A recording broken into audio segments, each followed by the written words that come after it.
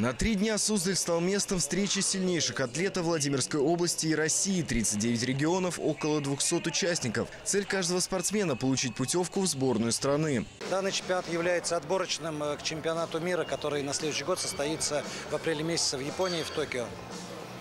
Отбирается сборная команда, то есть первые, вторые, третьи номера э, попадают в состав сборной для того, чтобы был сформирован, состав сборной команды. В третий день соревнований женская команда из Владимирской области заняла второе место, уступив команде из Санкт-Петербурга. Наряду со здоровыми тяжелоатлетами соревнуются и спортсмены с поражением опорно-двигательного аппарата. Вера Муратова поставила рекорд России в весовой категории до 83 килограммов. Она подняла 142,5. В состав команды Владимирской области вошли и именитые спортсмены. Пятикратная чемпионка мира и чемпионка России по пауэрлифтингу Инна Филимонова в личном зачете заняла третье место. Она выступала в весовой категории до 57 килограммов и подняла 85. Скоро у нас э, очередные соревнования, чемпионат Европы э, по силовому троеборью, по классическому будет в Каунасе.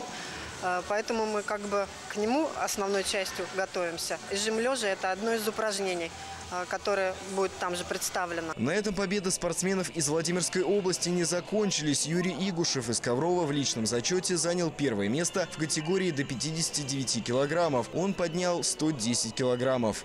Готовился недолго, потому что у меня травма спины там, вот, и тяжелая физическая работа. Сейчас строюсь, там, дом строю, мастерскую.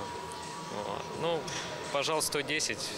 Этого хватило на первое место. В командном зачете мужская команда Владимирской области заняла первое место. Окончательный состав сборной страны станет известен позже. Игорь Липский, Дмитрий Журавлев, Шестой канал.